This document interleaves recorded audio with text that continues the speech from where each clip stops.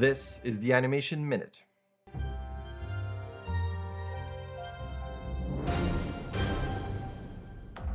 As always, let's start with jobs. Mikros Animation is looking for a ton of positions, including animation supervisor. Axis Studios is looking for senior creature animators. Warner Brothers is looking for storyboard artists for Wings of Fire. And another job posting from Warner Brothers, this time it's for technical director for Wings of Fire.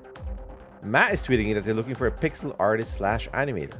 Switching over to news, and they're not good news. Activision Blizzard has been sued by California over frat boy culture. Breaking down the visual effects in Fear Street. It's a really cool trilogy. Check it out on Netflix. Full trailer for Dune the movie is out. It's going to be glorious. I can't wait. Ted Lasso season 2 is out. First episode was great. Here's a great thread on how we fell in love with the main character. A new course will be released for how to animate in Blender. This is definitely for me. Ross is diving into the world of being self employed. Check out his latest podcast episode. I can only agree with this. Use reference, it's not cheating. Here are a few tweets about Maya and the 3, which is looking really, really cool. Speaking of cool, look at that. Come on, classic movie. Here's another one, and this time we go full screen here. Look at that. That is so cool. Love seeing these as well. There are a couple of these. Check out this one and that one. There's a lot of crazy action in here. It's two minutes of awesomeness. Make sure to check out the full sequence. This looks really, really cute. Hand-drawn 2D animation. I am absolutely into this game now. Speaking of game, Sean once again with the cuteness overload.